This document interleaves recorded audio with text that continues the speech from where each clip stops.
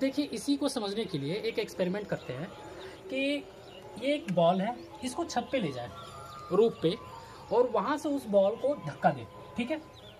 नीचे गिराए। तो नीचे गिराए, ये मान लिया जाए, ये बॉल का इनिशियल पोजीशन है। और ये फिर टाइम टी के बाद, यहाँ पे अगर time t equal to one कर दे इसे तो इस पोजीशन पे है टी इक्वल टू दूसरे सेकंड पे ये बॉल इस पोजीशन पे है और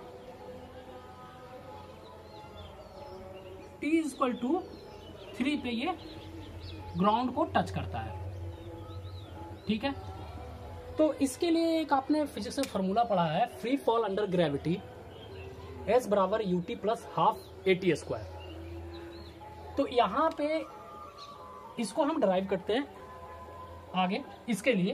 तो एस बराबर यू की वैल्यू यहाँ ज़ीरो हो जाएगी इंटू टी प्लस हाफ़ ये जब फ्री फॉल हो रहा है मतलब ए की जगह एक्सेलेशन ड्यू टू ग्रेविटी यहाँ पे जी होगी जी टी स्क्वायर तो एस बराबर क्या हो जाएगा? हाफ़ जी टी स्क्वायर ठीक है?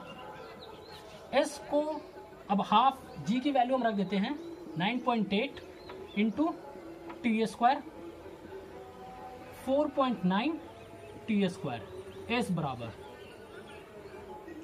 एस को अब इसके लिए हम करते हैं, एस को हम डी से कर देते हैं, d is equal to four point nine t square. D distance है। ठीक है? अब देखिए, इस वाले फॉर्मूले से अगर हम इसको करते हैं और इसको फिर और ये 4.9 है, इसको अप्रोक्सीमेटली लिखेंगे तो 5 टी स्क्वायर होगा।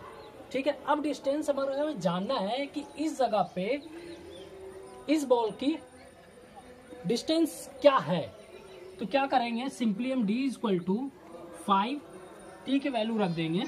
वन कॉल स्क्वायर या फाइव डिस्टेंस मीटर में होता है। फाइव मीटर यहाँ पे बॉल जब टी का टाइम टी वन होगा तो बॉल इनिशियल छत से पाँच मीटर की दूरी पे आ जाएगा। यहाँ पे इसका डिस्टेंस पाँच मीटर होगा। यहाँ पे अगर दूसरे वाले के लिए कर दें d is equal to five into two का whole square five into four is equal to twenty metre यहाँ पे ट्वेंटी मीटर होगा। ठीक है?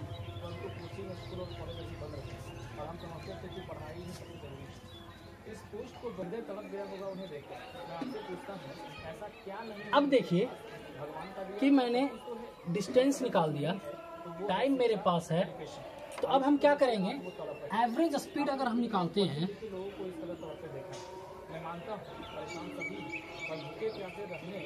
एवरेज स्पीड अगर निकालेंगे तो हमारा ये डिस्टेंस क्या है? फाइव इनिशियल डिस्टेंस क्या है? Zero minus zero t two क्या है अपना? वन, और टी वन क्या था? ज़ीरो। तो ये क्या आ जाएगा? Five upon one equal to five metre पर सेकेंड ये टी वन अगर कोई आपसे पूछे जाएगा कि वन सेकेंड में इस बॉल की स्पीड क्या है?